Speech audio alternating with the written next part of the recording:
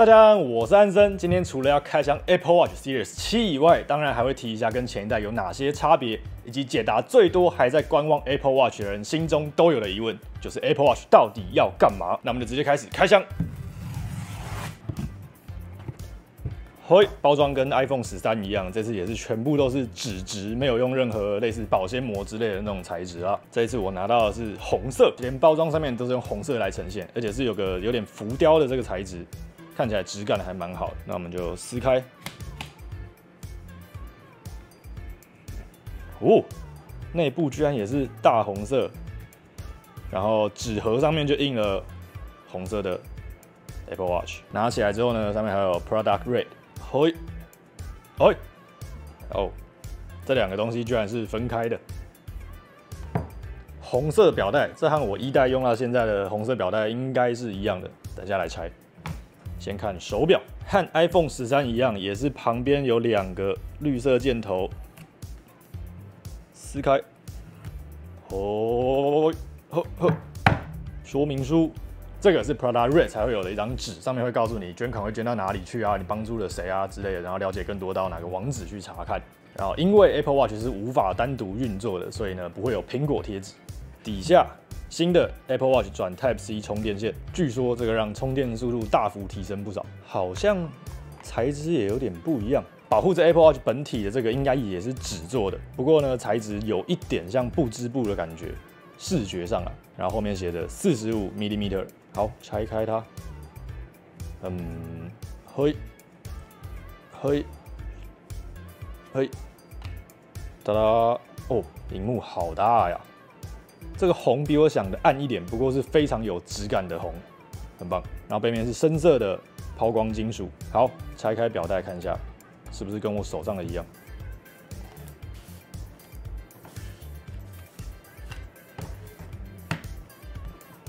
嘿，一模一样。不过我可以理解啊，毕竟表带从一代到七代都是通用的，我觉得这个非常好。毕竟你选到喜欢的表带，可以一直沿用下去，而且这样比较不会制造更多余的垃圾。哇哦，荧幕大小差好多啊！好，装起来，我先设定一下。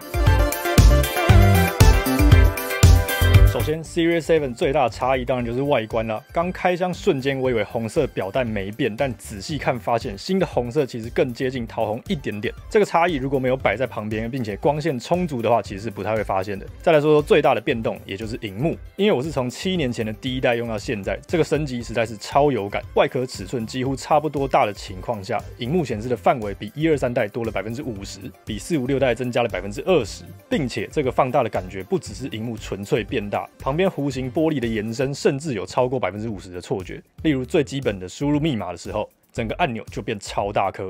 在不更改字体大小的情况下，接收通知的时候，能阅读的内容也更多了。同样是诸葛亮传出师表给你，旧的 Apple Watch 只能读到盖追先帝之殊遇，新的却可以读到以光先帝遗德。但我个人最有感的是看地图，这点在于骑车的时候停红灯瞄眼来说很加分。而且我原本的初代 Apple Watch 已经慢到我要在忠孝东路右转，它到市民大道才会通知的程度了。新增的独占表面总共有两个，第一个轮廓，这个嘛，除了日期时间就没有提供什么额外的资讯。官方网站上的介绍是利用折射的光线在显示器边缘形成一种微妙的包覆。视觉效果，简单来说就是让你感受到新的 Apple Watch 屏幕就很大。第二个表面双型组合，这个除了可以改变颜色外，主要就是两大区块来依照自己喜好设例如，其中一块怕晒的话，就放个紫外线指数；远距离恋爱的话，放个伦敦时钟；有买 AAPL 就放个股票。另外一个可以随时查看心率啊，看看降雨几率啊，或是随时打开 Podcast 收听我跟朋友开的节目，玩过看过不要错过。这是个深度挖掘游戏还有影视作品的节目，链接也会放在下方。记得点来收听，还有一起加入讨论。除了这两个大区块，左上角也能再塞一些常用的小工具，例如倒数计时、遥控相机、电池电量或是发票载具。另外，伴随着大荧幕而登场的全尺寸键盘，这个嘛，对于大部分台湾使用者来说，目前是一个用处还不算太大的点。原因是只有英文键盘。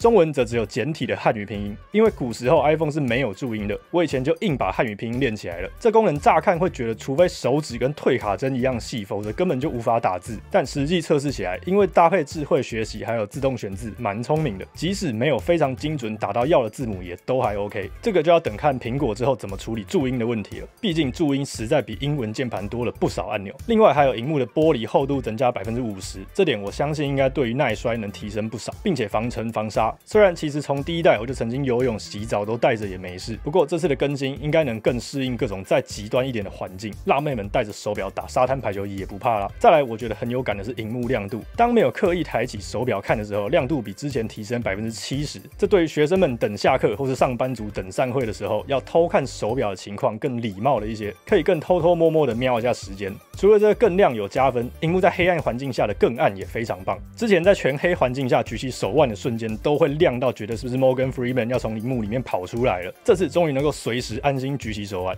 虽然说 Series Seven 外形大改，不过其实单纯论功能性来说的话，幅度并不算高。像是我刚前面提到的几点，几乎都是基于原本就有的功能。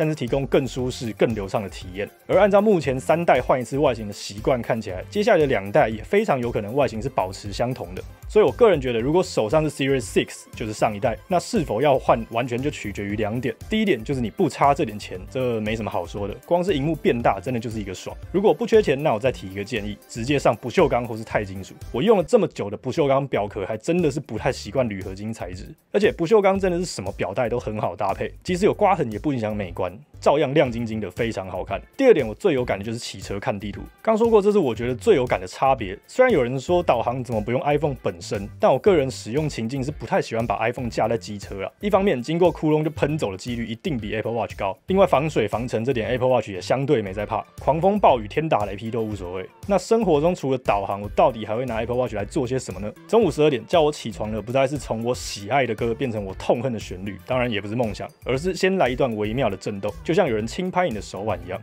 摸到十二点半出门。今天我要先去朋友家拿个东西。骑车停红灯的时候偷瞄一下手表，不用害怕被开罚单。接着因为敲了两个 shot，骑车会被上铐，只好设定工作室为目的地之后，手提大包小包走路前往。路途不必再掏出手机或是举起手腕来看地图，凭着 Apple Watch 发出的震动就可以判断该往左边转还是右转。这种平常不一定用得到，但是用到的时候你真的是会谢天谢地。像我自己的工作室还有住家都是用 August 电子锁，也可以不必掏出 iPhone，手表举起来点一下就开锁。下午一点到了工作室，先打个电动，开机进入游戏，才突然想到自己在等热水吃泡面。如果要停下来拿出 iPhone，无论手动开启倒数计时，还是一样叫 Siri 倒数，多了一个掏出 iPhone 的动作，那个被中断的感觉就不太好。Apple Watch 只要把手抬起来就可以开始命令。三分钟计时开始。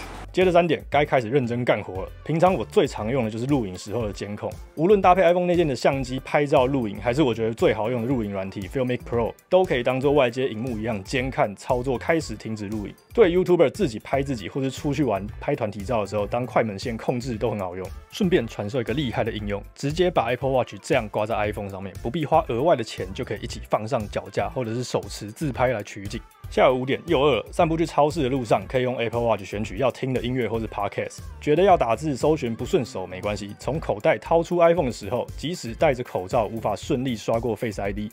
Apple Watch 也已经帮你解锁完成。采购完毕要结账的时候，刷电子发票载具，手腕抬起来；需要 Apple Pay 付款，手腕抬起来，收工。觅食完毕后，晚上六点坐在 iMac 前面要开始剪辑，碰一下正在休眠的电脑，也能透过 Apple Watch 解锁，省去打密码的繁琐过程。在专心做事的时候被打断通知，实在是一件非常影响生产力的事情。Apple Watch 除了接收到通知可以瞄一眼不重要就忽略以外，搭配 iOS 十五的专注模式，可以自定只跟工作相关的 App 允许通知，对专注非常有帮助。